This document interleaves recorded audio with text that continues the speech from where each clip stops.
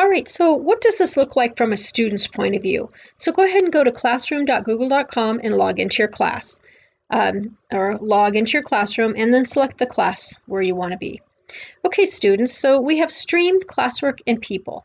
So underneath people, you would see your teacher and you might be able to message the teacher if you have that set up on your site. But most of your time will be spent in classwork. This will show you everything that your teacher has assigned for you.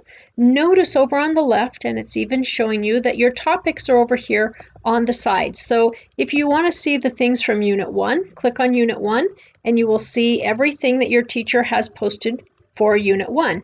If you're working on Unit 2, click on Unit 2 and again you'll see what's been posted for Unit 2.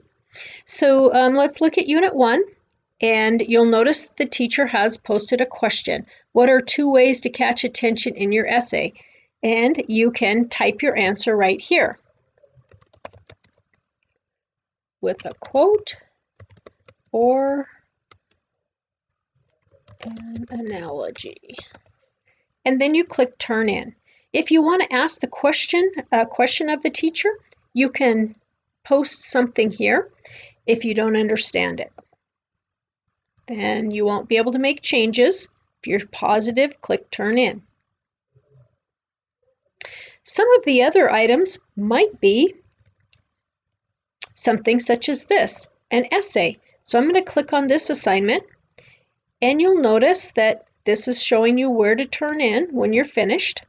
So here's some information. Write a strong persuasive essay introduction, be sure to watch the video tutorials before you begin. So I'd click on the video tutorials. And then when I'm finished and I've typed my essay, or I uh, finished watching the tutorial and I'm ready to type my essay, I'm going to click Add or Create. And I'm going to create a doc and type my essay. If I needed to create a slideshow, I'd click slideshow, sheets, or drawing. Sometimes the teacher will give you something to start with. And I can click here and find out that yes, the teacher did give me something to start with. And I would finish this up, close this window when I'm done, and when I'm ready to turn it in, I click Turn In. If I have a question about this assignment, I can add a private comment and this comment will go to my teacher so that she can reply to me. If I want something to go to the whole class, I can add a comment here and I could maybe post some information that might help my classmates do this particular assignment. Again, when I'm done, I click turn in. It says, are you sure that you want to turn it in? And I click turn in. Now my teacher has control over my document and will return it to me when she's done grading it.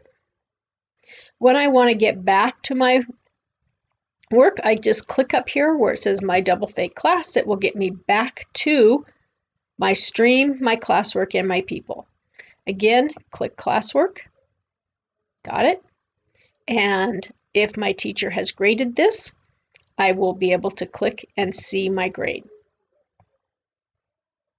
And that should get you started with Google Classroom.